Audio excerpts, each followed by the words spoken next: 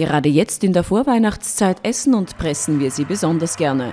Orangen und andere Zitrusfrüchte gehören einfach ins Nikolosackerl oder in unseren Punsch. Doch dabei schwimmt oft eine unsichtbare Gefahr mit. Um einen Schimmelbefall während der Lagerung und dem Transport zu vermeiden, wird das Obst nach wie vor mit gefährlichen Spritzmitteln behandelt.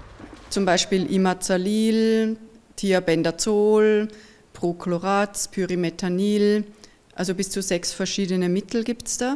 Und bei den meisten von denen gibt es Hinweise, dass die krebserregend oder fortpflanzungsschädigend sein könnten. Und zum Beispiel das häufigst eingesetzte Nacherntebehandlungsmittel, das heißt Imazalil, das ist sogar von der EU in Stufe 2, also krebserregend Stufe 2 eingestuft. Das bedeutet, es könnte vermutlich Krebs erregen. Global 2000 hat 50 Marktproben gezogen, Orangen, Mandarinen, Zitronen und Limetten. Von den Zitrusfrüchten waren zwölf als Bio gekennzeichnet. Alle Früchte wurden auf Pestizidrückstände untersucht. Das Ergebnis war erschreckend. Und dann ist herausgekommen, dass bei allen zwölf Bioproben, da war überhaupt gar nichts drauf, keine Rückstände von chemisch-synthetischen Pestiziden, also die waren komplett sauber. Und bei den 38 konventionellen Proben waren überall Pestizide drauf, in 95 Prozent der Fälle sogar mehrere Pestizide, also so ein Pestizidcocktail kann man da schon richtig sagen, bis zu sechs verschiedene Wirkstoffe. Dabei wären viele Pestizide und Chemikalien eigentlich vermeidbar. Auch innerhalb der EU werden Orangen nach der Ernte nochmals behandelt, wenn sie noch grün und nicht orange genug sind. Die Greening nennt sich dieser Prozess und dient rein der Bedienung von Konsumentenerwartungen.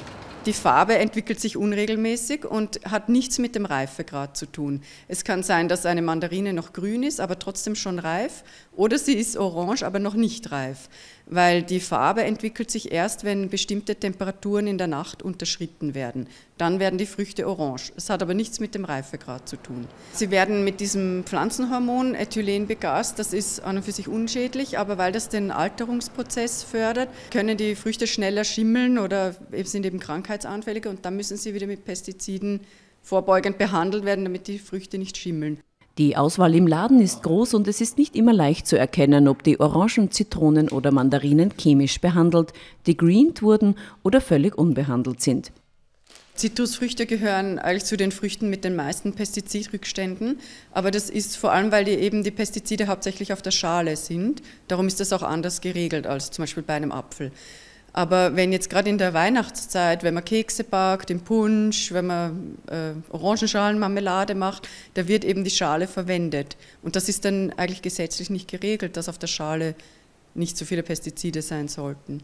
Und darum haben wir diesen Test gemacht, um zu zeigen, dass die Früchte eben wirklich belastet sind und man aufpassen soll, wenn man die Schale verwendet. Sogar der Begriff unbehandelt wird von vielen Konsumenten völlig missverstanden. In vielen Fällen war eben Früchte, wo steht unbehandelt, aber da waren auch bis zu drei verschiedene Pestizide drauf. Zum Beispiel ein Wirkstoff, der heißt Chlorpyrifos.